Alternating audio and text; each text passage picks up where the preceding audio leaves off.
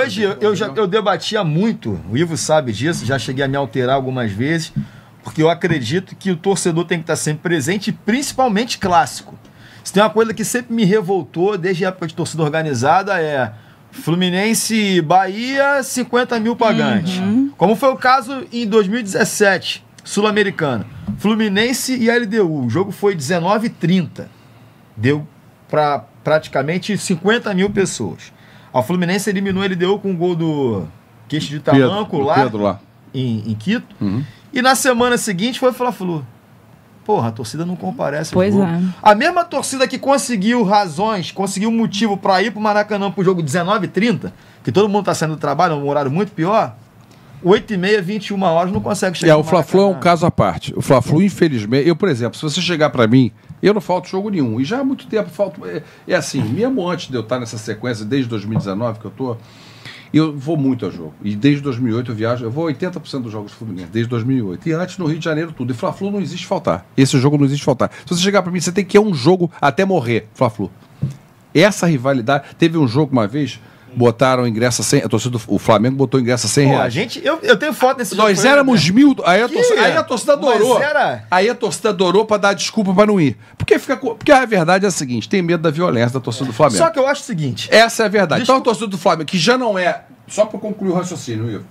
Miguel. Miguel. Miguel. Miguel. Não, Miguel. É, é, não, desculpa. Eu tenho um pouco não, mais que ele ainda. Falei, mas eu sei que é Miguel. Então, é, o que, que acontece? Não é a torcida do Flamengo lá de trás. A raça rubro-negra, a jovem, aquele pessoal mais humilde que é. Hoje o, é, é, é outro cenário. É outro... pipoca com Nutella. É. Hoje é aquela outro, coisa, né? Aquele cenário. É, selfie. É, selfie, é turista. Então o torcedor que vai hoje no Maracanã, do Flamengo, inclusive, é diferente. Mas existe a violência fora sim, do estádio. A gente vê jogos. Até aí. pessoas que não vão, não entram. E as pessoas estádio. têm medo. E eles são a maioria. É verdade. Então não tem jeito. O pessoal tem medo. Quem não tem experiência, então evitam ir. Pega um jogo desse, ingressa 100 reais a, a 2016. Cara, aí é, não vou. Foram mil. Eu falei, eu cara, não jogo. pode faltar. O que é que deu? 3 a 0 Fluminense, gol do Bolacha rolando. Cara, eu fiquei terminal no estádio. Terminal. E aquela jogo. cara de bunda geral do estádio. e 3 a 0 Fluminense. Quer dizer, foram sacos. Porque é aquela soberba de sempre, é um empate descomunal. Você estava falando do jogo de 2019. Não, eu estou falando do jogo do Bular. 3 a 0 a gente tinha 100 pessoas, 100 mil pessoas no estádio por causa do ingresso, 100 reais. O pessoal não quis ir. Então o torcedor tem esse medo, Ivo é, de, de, dia ao jogo, com essa violência. E aí acarreta essa merda. Sim. Quando o Fluminense jogou agora com o Flamengo, podendo comprar o meio de campo, jogo decisivo, a torcida foi, comprou e ficou equilibrado no Maracanã. Quando eles têm o mando de campo, eles compram o meio todo. É. Era isso que eu queria falar com vocês. Vocês não acham que isso mudou um pouco em relação ao Fla-Flu? Porque, cara, eu acho não. que... Não, Miguel, é, rapidinho. Deixa eu te falar uma coisa. Você foi de torcida organizada assim como eu, você sabe disso. O que a gente sempre reclamava era isso. A torcida do Fluminense não ia para o Maracanã. Só que eu fiquei bastante surpreso e, e, bastante feliz quando eu vi aquela final do Carioca desse ano, no segundo jogo, depois do, a gente ter Os perdido... últimos dois anos. Os então, últimos dois exato, anos. mas de, de, dessa final, desse último, de, desse, do, do ano passado, a gente, a gente ganhou. A gente perdeu de 2 a 0 pro ano sujo, passado a gente, sujo. Não, retrasado a gente, a gente ganhou. Não, não, eu tô falando dessa final agora.